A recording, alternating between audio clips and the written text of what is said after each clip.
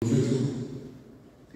Llevamos ya, hay que decir, un adelanto en el acercamiento de la información, porque esa generosidad tiene como propósito del gobernador que esta etapa de transición nos permita llegar con el ritmo administrativo que se merecen las y los poblanos. Esa es la realidad.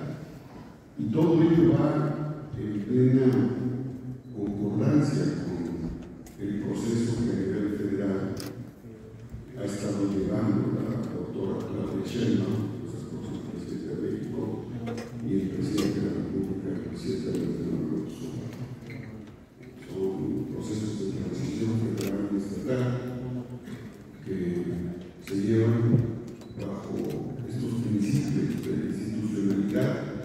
pero también de colaboración, de respeto, de acompañamiento, de sentimiento de, amor a la patria y de amor por Lo ha sido recibido y hoy entonces inicia un proceso donde cada integrante de la administración va a iniciar un proceso de vinculación, de empate, de coordinación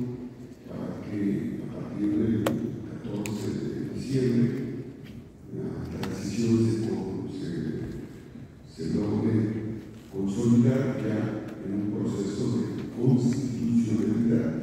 Nosotros, al tomar protesta el día 14 de diciembre, nos constituimos en la representación formal del poder.